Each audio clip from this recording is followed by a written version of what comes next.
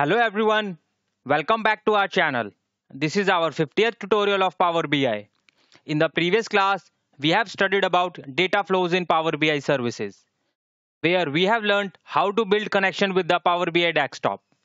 I hope guys now you have good understanding about data flows. And now in today's class, we will understand about some differences between Power BI desktop and Power BI services.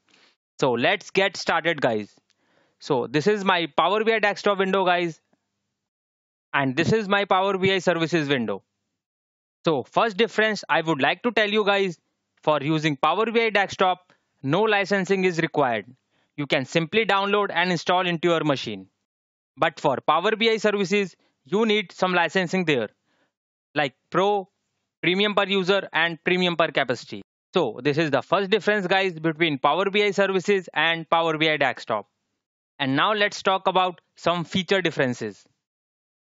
So in Power BI desktop guys, you can see the visualization pane and field pane. Now comes to the Power BI services. So if I click here on this report, so here you can see this edit button. So you need to click on this button.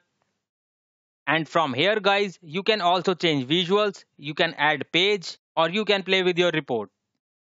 So you don't need to go Power BI desktop to add or remove visuals. So this feature is same for both the applications. And now comes to the third difference. So guys, we cannot apply any DAX function here in Power BI services. But in Power BI desktop, we can apply DAX function as you have already seen. And if I talk about the fourth difference, we can't create any data modeling in Power BI services. But in Power BI desktop, we can also build the relationship between the tables. But we can expect these features in Power BI services near future guys.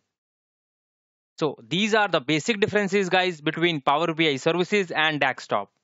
And now guys, let me talk about some remaining feature of Power BI services. So guys, we have covered this edit option. Now comes to the get insight option. So guys, this option is for the premium user only. So let me click on this option and here you can see guys, get more feature with premium per user. That means I can't able to access this feature because I am a pro user guys. But I will give you heads up about this feature. So let's suppose if in our report has trend analysis and KPI visuals or some gauge chart visual. So once you click this option, then new window get pop up on the right side. And you will get to see some target sign over there and you need to click on this target sign then you will get to see the highlighted figure.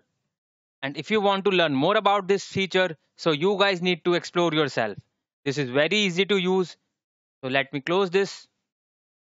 And now comes to the chats in team. So that means you guys can chat with your team members or your colleagues. And from here guys you can share the report to your team members or your manager. So once you click this option you can enter the email id here and you can press the send button. So let me close this guys. And now comes to the export. If i click on export so you guys can export your file into excel format powerpoint and pdf and now comes to the file option guys. And from here guys you can save a copy of your report and you can also download this file. So we have covered all the features under this report view now comes to the workspace.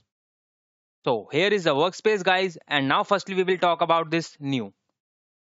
So if I click here on new button, you can also build your auto report. So yes guys, we can also build auto report in Power BI services. This is a great feature in Power BI services to create auto report. So let me show you how can we build auto report in Power BI services. So let me click on this new button and you can also create report scorecards, dashboards, dataset, data flow, and so on. So let me click on report first. And rest feature you need to explore yourself. So you guys can see we have two options are here. So if I click on this option, so you need to create your dataset like in Excel. So we have to enter manually data here. But we already have a dataset guys. So I will choose this second option. So here we can see guys, we have multiple dataset. So let me click on this product dataset. And now we need to click on auto create report. And once you click it guys, so you guys can see your report is ready to view. So here is the report guys and we can see this Power BI services has auto built this report and here are only two fields which is product and sales. So the report is making on the basis of product and sales. And if we have another columns guys, so we can also see another visuals here. But this time only two columns are here. That's why displaying only one visual. So let's get back to the workspace guys. And now comes to the second feature which name is upload. So let me click on this upload. And from here guys, you can browse the data into your desktop and you can also add the data from SharePoint and OneDrive. And now let's come to the third feature which name is create deployment pipeline. So let me click on this button. So guys, this feature is for premium license user. So I don't have any access to use this feature. Else I would surely explain this concept. So for now only I am skipping this create deployment pipeline option. So you need to explore yourself about this feature. So let me click on OK button. And here are the views guys. So you guys can also change the view of your Power BI services. So let me click on view option. So let me convert into lineage view. So in this way guys, you can change the view setting of your Power BI services. And now comes to the setting option. And from here guys, you can add or delete your workspace. You can also rename your workspace name. So let me cancel this and this access feature we have already covered in previous classes.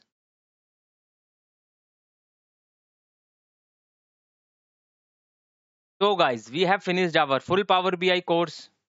So let me get back to the Power BI desktop. And now guys, I would like to take few minutes of you and share few words. So let me turn on my camera first. Hi everyone. So we have completed full Power BI course with this class and I have tried to explain each and every concept in detail. If you guys have any doubt with any concept, you can watch this video on multiple times. And I'm sure guys, you will get more clarity about your topics if you will watch this video multiple times. Or you can watch other videos for the same concept. And from next class, I will create separate playlist of DAX functions, visuals, and some new updated features in Power BI services and desktop and I will also create some other playlist of scenario and interview preparation questions. And now comes to interview part. So guys, for cracking interview, you need to follow different strategy because and learning this course is a different thing. And as you know guys, many people are taking training from other institutes and they are paying high fee to the institute, but still they are jobless. You know why? Because they are not following the right strategy to crack job interviews. So let me give you an example guys to understand this. For example, many people sitting in exam, but not everyone come first and not everyone get pass. Few of them get flunk in exam. So in very similar way guys, not everyone can clear this interview rounds. So you need to work hard to crack interview. So I will definitely try to remove this hurdle that how you prepare for interview with correct strategy. So I would like to share my experience with you guys. I have given more than 35 interviews during my time, but I never lose hopes guys because I know I am learning more from my rejections and I kept continuously working on scenarios and questions. So if I can do it, you guys can also do it. And now I will tell you how you need to prepare for interview with right strategy. So in an interview, guys, 60% questions asked related to the theoretical part, like what is Power BI, difference between services and Power BI desktop, and other some DAX differences, like what is calculated column and measure, row level security, and so on. So you need to make notes from my videos and prepare yourselves for an interviews because I have explained each and every concept in detail. And after that, you need to give some interviews and learn from scenarios because 30% questions asked from the scenario based. So you need to work on some scenarios as well. And remaining 10% asked related to the profile and basic roles and responsibility in your organizations. And I guarantee guys, if you guys are following my videos with step by step, you don't need to go here and there. Just prepare notes and keep work on it. Because I was totally new to this Power BI, that's why I took much time. I didn't even aware about the how to extract the data. So from first day guys, I started give an interview. So I am sure guys, if you are following this strategy in a correct way, you will surely select it in very less time. And I tell you guys, there are lots of job opening in market for Power BI and SQL developer. So no need to worry about jobs. Just focus on learning, make more practice. Surely you will get select. And if someone is looking only paid Power BI full course training or interview preparation training, so you guys can directly connect me on LinkedIn. And for free learners guys, we have this YouTube channel. So please share this channel with those who really want to learn Power BI, but they don't have much money to join such professional course. So spread this channel guys to needy people. And you guys can definitely change career to few people. So guys, please share this channel to them. It would be really appreciable. So thank you so much guys for your more love and support and keep learning, keep growing and stay connected with us for more learning about Power BI. Thank you so much.